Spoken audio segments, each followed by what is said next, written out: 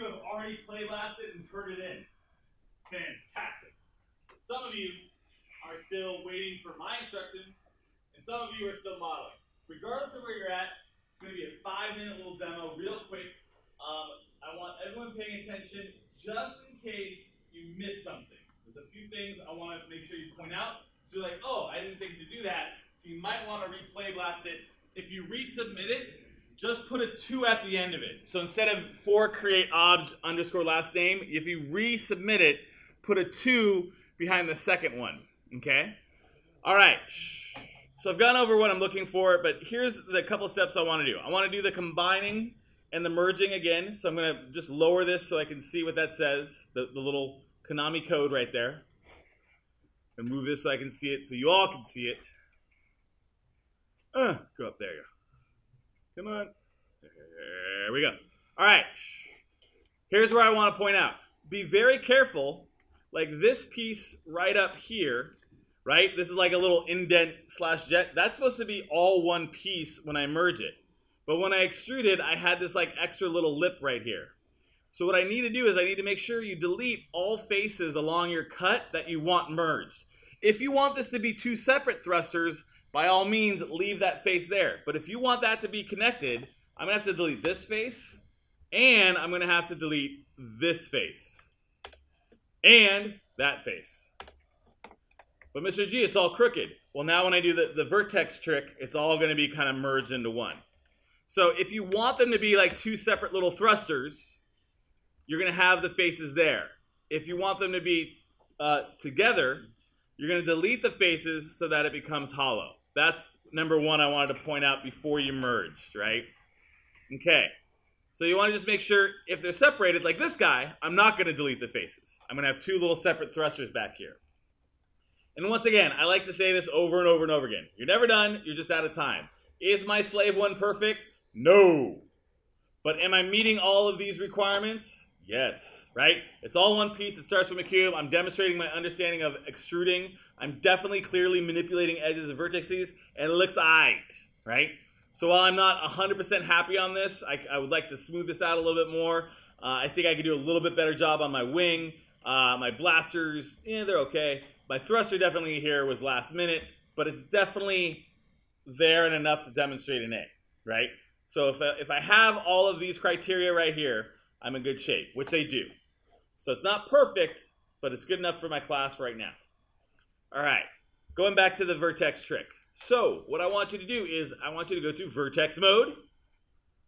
If you're to turn it in following along, now's the time to do this. If you're not following along, keep an eye and an ear up here. Even though I see you clicking around, that's fine. Just make sure you check all this stuff. I'm to click on one vertex, shift, double click the one right next to it. Gives me that whole line. And remember this really, really, really, really, really, really, really, really, really, really, really crooked part right here? Right? Well, this code is going to make it all fall along the X. So I'm going to type right here exactly MOVE space negative X space negative A space 0 semicolon. And that X can change to Y or Z if you cut it a different direction. Once again, you can change X to Y or Z if you cut it a different direction. But most of you did X. I'm going to hit enter. And boom, it's nice and flat and flush. All right. Then I'm going to go to object mode. I'm going fast because I covered this yesterday. I'm going to be in object mode. We're going to do this at least three more times. Edit, like three more projects. Edit, duplicate special, options. again, that's an XYZ. So I just make sure my scale is, is the first one is X. I hit duplicate special. Bam. They're all right there. It's all good. Okay. That being said now, now there's two separate pieces. I get to combine them.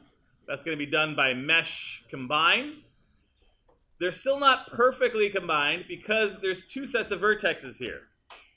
So to get rid of that, that seam in the middle, which will look weird if I hit 3 right now, to get rid of that, I go, again, back to object mode, and I choose Edit Mesh, Merge.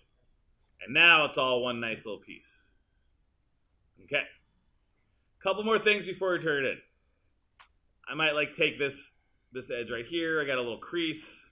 Maybe I move that down. Try to get rid of that. Make it look less like a. There you go, like a ridge right there. Much better. Yeah. Yeah. Liking it a lot better now. Okay. Lastly, couple things before you turn it in. It's probably going to look better with the green lines not selected. So I don't see the geometry. The geometry really shows a lot of mistakes, but you can hide a lot of mistakes by making sure it's not green when you turn it in. The other thing is, compared to the real Slave 1, you're like, oh, man, yeah, that, that thing totally sucks, right?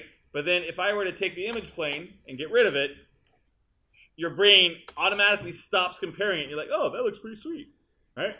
Oops, I got one down here too. I have three image planes. There you go. It's already looking better. Now the other thing is we haven't done is we haven't colored it. We haven't added any any texture to it. That'll always come later, and that always adds another value to it. This could totally work in an N64 game, right? Ten years from now, ten years ago, this could totally play. Could totally fly that thing around and shoot spaceships. All right. Uh, I got one little issue down here with the merge. I got another weird little vertex thing happening. I can just kind of correct. So after you merge it, if you see some issues, feel free to try it to kind of polish it up. Just a little, whatever you see fit.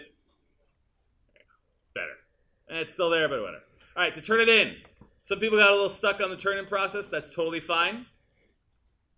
Um, but what you got to do is you got to do three steps. Oops. Sorry. One more. All right. Um, you've deleted the image plane, so you've deselected it. Now you're going to spin it twice over 120 frames. So make sure, one, that this button right here, that little space has 120. Okay? I'm going to go to frame one. I'm going to press S. Make sure that it's selected. If it's not selected, Maya doesn't know what to keyframe. Frame one, S. Drag it all the way over to the right, 120 pick a nice angle so I can kind of see, see it, pick the angle where I see it best. Go ahead and E and give it a spin. The trick is to only grab the green wheel. And I'm going to give it one twirl, making sure I only grab the green wheel.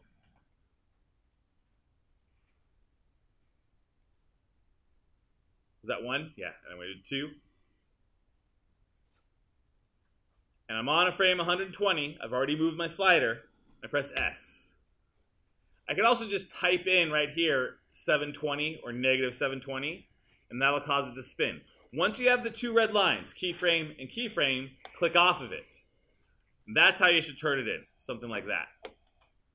Again, it's not perfect. I'm not 100% happy on it, but it's definitely done the requirements. So I'm going to right click.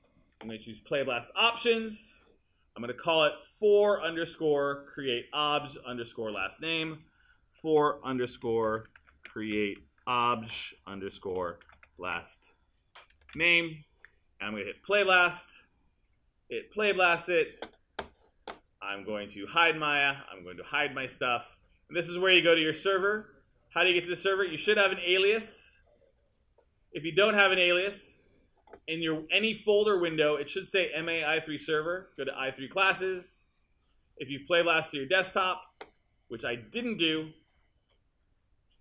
right? Whoa, I almost lost all my data. Hit save. I forgot to hit. I forgot to hit my destination.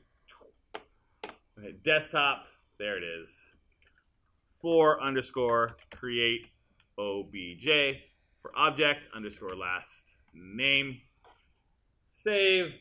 Play blast again. See, even Mr. G makes mistakes. Life is good. Gonna close these windows out.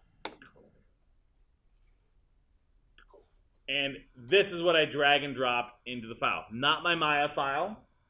I drag my playblast into for anim submit. Go ahead and drag it into the submit folder and release. You can't open it. Only I can open it. Right? Uh, it's a one-way mailbox, right? You can only put stuff in, you can't take stuff out. I can show it. I'll pop up the list in a second. So you got about five more minutes to do that. If you're not done right now, you got lunch right now. We got flex time next week. On Monday, we're gonna model jack o' lanterns. What? Yeah, we're going to model jack-o'-lanterns so that we can 3D print them, and then we can paint them and put lights in them, and so that they'll be ready for Halloween. So we're going to model the jack-o'-lanterns next Monday and Tuesday, and then we'll move on to character modeling. We'll talk about character modeling next. All right. So go ahead and drag them into the spit folder and